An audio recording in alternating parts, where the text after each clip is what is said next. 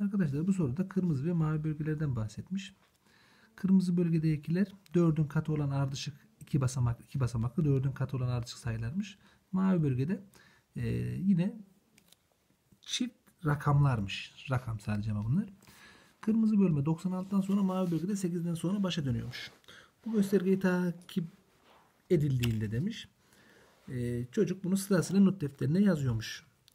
Ama iki basamaklardan başladı. Mesela 4'ün katı olanlar nasıl devam etmesi lazım? 12. Tabii biz kim için konuşuyoruz? Kırmızı için. 12, 16, 18, 20 şeklinde 96'ya kadar devam edecek. Şimdi burada kaç tane hangisini soruyor? 37. sayıyı soruyor. 12 sayısı 4'ün 3 katı.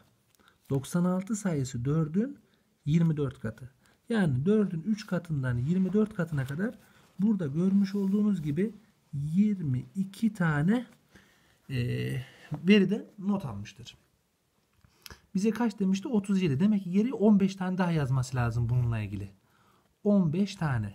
Yani 4'ün katlarını ala ala devam edecek. Ancak bize iki basamaklı sayılar dediği için normalde 4'ün 1 katı, 4'ün 2 katı, 4'ün 15 katına kadar gitmesi gerekiyor.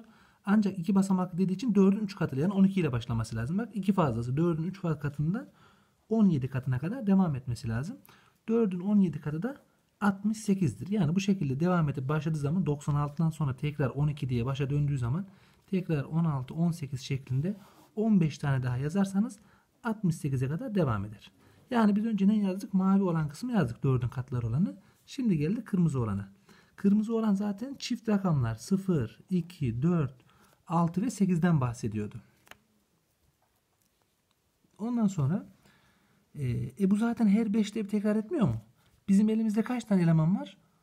37 tane. E ben 37'yi 5'e bölersem kalan 2'dir. Yani bu adam son 2 tanesine denk gelecekmiş. 0, 2.